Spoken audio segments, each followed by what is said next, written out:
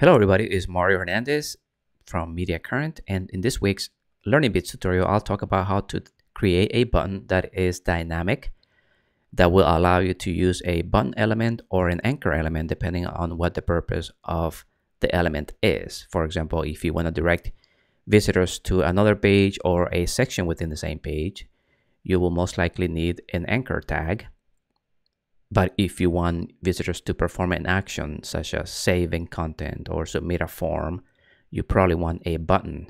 Visually, uh, links and buttons don't necessarily have to look the same or different, right? We can style them any way we want, depending on our requirement.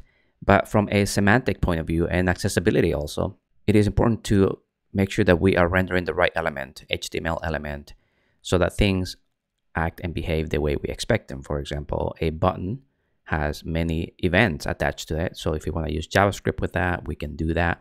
A link mains a link's main purpose is simply to redirect people to a different page or a different section on a page. From an accessibility point of view, obviously we want to make sure that we use the right element so that screen reader or assistive technologies can um, properly announce the content on your page or the elements on your page.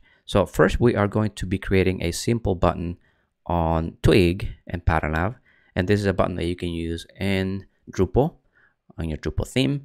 And then we are going to be doing the same thing for a Gatsby site. Uh, this one is going to be a little more involved, but the concept is still the same, is which element to serve depending on the purpose of what we are trying to do. So what I've done here in my theme, this is a Drupal 8 theme, actually Drupal 9.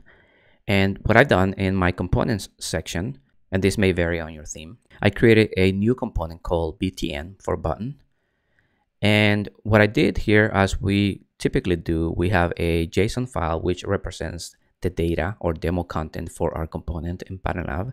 And I have two keys here. One is the text and one is the URL. And these are the keys that you will most likely be getting on any platform really. Uh, and then in Twig, uh, I've simply done uh, a conditional to check whether if we have a URL value, uh, most likely we want to print an anchor, right? A link. And then we are passing the URL value to the href attribute and assigning of class of button. And then we are printing the text variable. If there is no URL, right, else, then we are going to print a button element, right? Because a button element doesn't require a URL.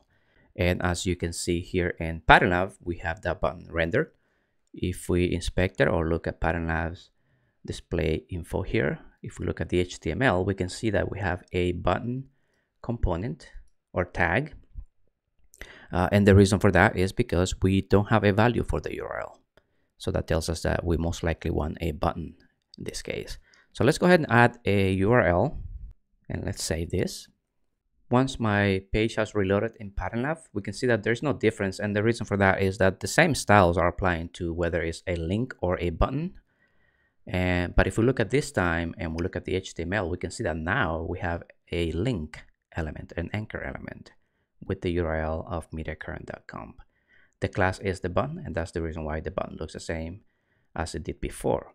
So this is a pretty straightforward process to do this for a Drupal theme, but at the same time, it gives you a nice way to render the proper element on your website so that you're not always ending up with a link uh, when you want a button or vice versa. So now let's take a look how you would do this in a Gatsby site. Okay, I have created a very basic demo site, Gatsby site that is, uh, in which I've created a components directory and in there I created a button directory and inside there I have a button.js. This is where we will define the logic for our button and so I'm importing React and Link because Link is a powerful component, uh, Gatsby component that is, that provides a lot of uh, performance advantages uh, to ensure that your site, your Gatsby site works super, super fast. That's why you'll see that Gatsby site load super fast because it uses a link component that allows for pages to be pre-loaded before you even click on them uh, so that when you click on them, the page is already pre-loaded and doesn't need to go and render that page from scratch. It'll automatically just display for you. So the logic is as follows, uh, similar to what we did for Twig, we have a button variable here and we have a couple props. Uh, one is children so that we can pass the content for the button. We have a to uh, prop here, which is something that the link, Gatsby link uses. And we have an href prop here that is what anchors use, right? So the idea is that if we have a to uh, prop, like we do here, we are going to use a Gatsby link so that uh, we understand that the to means that the link will be internal to our site and therefore we want to use a Gatsby link component rather than just a regular anchor. If we have an href prop, however, right, that means we don't have a to and that means that our link will be external. It will most likely be directed to another site and so for that case, we want to use a regular anchor tag with some keys, some attributes like the href, a target blank, and uh, for security purposes, this is a Gatsby uh, or React recommendation is you use the no opener and no refer, and then we pass the content of the button, right? And if we don't have a to or an href prop, then that means we are going to be using a button, right? Because we don't have uh, anything to link to. So in that case, our button is going to allow us to do something, say content or submit a form.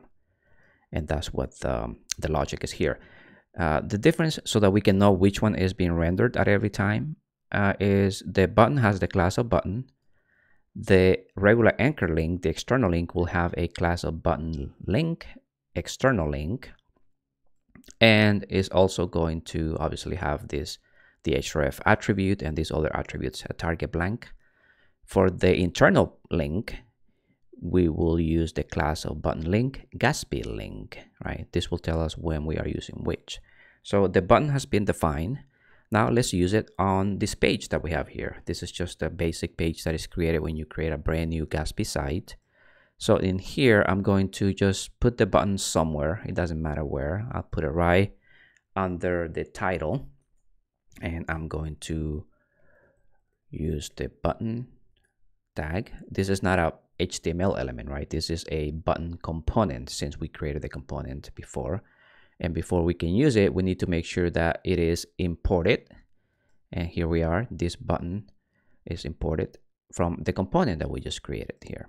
So now, if we add the button, uh, let's pass, uh, first let's pass the, just the children uh, value, hi, I'm a button. That should do it. If we save the page and the page reloads, we can see that we have a button display on the page. We don't have a style, but that's not really important right now. If I inspect the code, we can see that we in fact have a button with the class of button. All right, so that is working. Let's change it and now let's let's add a an href prop here, an href attribute that is, and we're just gonna link it to the same page. And when I save this, you should see that now uh, the button changed to just a link if I inspect the code, we can see that here is our link, uh, just a regular anchor with the class of button dash dash link, external link, and the href, right? Uh, notice that how the target is also set to blank and it's got the rel attribute as well. So if we were to click here, we can see that this in fact opens in a separate page, separate tab that is, right? So that is telling us that we are using the right anchor element, right? Now let's try it with a to property or attribute. And what this should give us is the uh, on the code itself is not going to show any different as far as the anchor, but what this will do is that it will tell us that we are using now a Gatsby link component.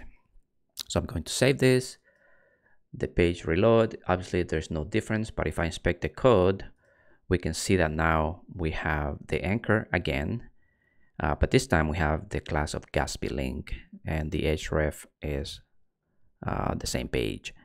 Uh, so the to prop that we pass uh, translate to the href once it's rendered right but that's it i hope that this was helpful and i hope that you understand the power of especially Gatsby link and how that can improve drastically improve your website's performance. Thank you for your time. Uh, see you on the next video. Thanks. Bye bye